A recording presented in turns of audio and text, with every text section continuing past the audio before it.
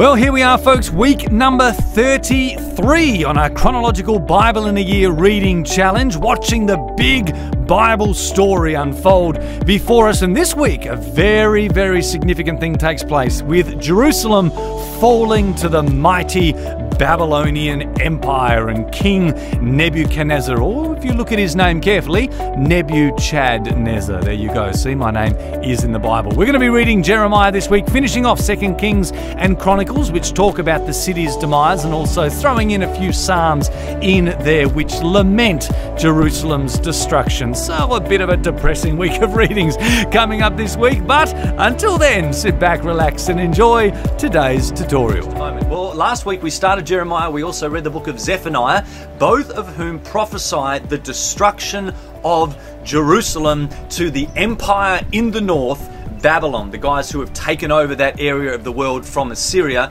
in recent years. And this week, we see that destruction take place, all right? It has finally come, both in the narrative of Jeremiah and also Kings and Chronicles, which we are finishing this week. Congratulations. We see the fall of Jerusalem to King Nebuchadnezzar, or if you look at his name closely, Nebuchadnezzar. Okay, keep your eye out for that. For King Nebuchadnezzar uh, of the Babylonians, who basically lays siege to the city for two and a half years. Some of its people starved to death over that time. It's a horrific uh, siege against the city. Uh, and then his armies come in, burn the city to the ground, the temple, a lot of the significant buildings. They plunder and loot. They kill a whole bunch of people and break down the city walls. Jerusalem has fallen just as the prophets had predicted. You're going to be reading about that this week. Uh, basically, we read the end of the book of Kings, which, as we've seen for the last few weeks, tells the story very, very matter of fact. And so, Kings just ends um, with God's people in exile in Babylon, and it ends with uh, King Nebuchadnezzar's son, who takes over and succeeds him up there in Babylon. And that's it. Kings just ends. That's it. All right, done. Congratulations, you finished Kings. Chronicles, on the other hand, as we've said before, is a different book. It's written well after Kings, okay, and so it has a great sense of hope to it. And so Chronicles actually finishes talking about the exiles in Jerusalem, but laying claim to the promise of Jeremiah that that exile will only last seven years. In fact, right at the end of Chronicles, he fast forwards 70 years to the reign of Cyrus when he releases God's people from exile and basically starts the book of Ezra. Okay, so this sort of shows us that the same person that edited or collated Chronicles is the same person that wrote Ezra. They are two books that seamlessly go one into the other. So Chronicles tells the same story of destruction, but also has those hints of hope because it is writing to an audience that is uh, pointing them towards the direction of restoration that is about to take place. All right? Jeremiah, of course, we're reading at the same time. We've got 18 chapters of Jeremiah this week, tells the same story, the destruction of Jerusalem, but with a lot more detail. All right? Remember, Jeremiah is right there in the city when it is being conquered. In fact, he's not only right there in the city, he's right there in the palace of the king. So he is right there in the thick of it. So he gives us a lot of details that Kings and Chronicles doesn't. And what we find out from Jeremiah is that after the conquest of Jerusalem, Jeremiah gets a choice the king of Babylon shows him favor and says, Mate, do you want to come to Babylon with me and I'll take care of you?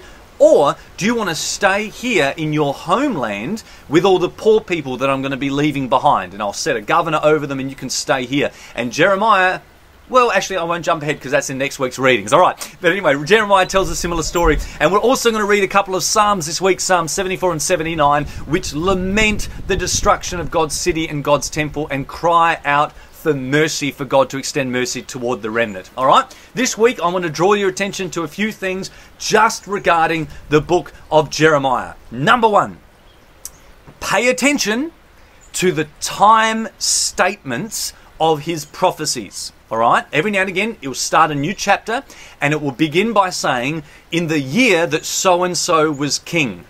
Now, the reason you need to pay attention to that is because Jeremiah is not laid out chronologically. All right, up to what we read last week to about chapter 22. It, it reads pretty well in a straight linear line, but from this week, he jumps back and forth in different time periods, and you're going to get very confused if you don't pay attention to that, okay? Remember last week I said that one of Jeremiah's emphases in his prophecies was saying to Jerusalem, listen, that's it. God has made up his mind. You are definitely going to be destroyed, even to the point of God saying, Jeremiah, don't bother praying for them because I will not relent. Even if they repent, I will not relent. Well, this week, Jeremiah says the exact opposite.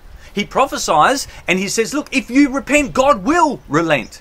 Now, you're going to see that as being contradictory if you don't pay attention to the timeline, all right? He is going back in history when those things are being said. But what we read last week, God had made up his mind. So Things aren't contradictory, it's just that it's not laid out chronologically. You need to pay attention to that. So, I recommend to you yet again have that list of the kings that you printed out in the order of the kings, and that'll help you see this week where, at which point in history, Jeremiah is prophesying and writing. Okay, Jeremiah is not written chronologically, and I warned you of that at that at that special video I did talking about how to read the prophets. Okay, one of the points I made there is that the prophets are messy. All right, they are messy, and his book is not laid out chronologically. All right, with that, you'll also notice this week that some of his prophecies are repeated. You're going to come across some statements, and you go, "Gee, I'm pretty sure I've read this before." Okay, yes, you have. It's because again, he's going back in time and repeating certain prophecies and retelling the story in another context for another purpose. So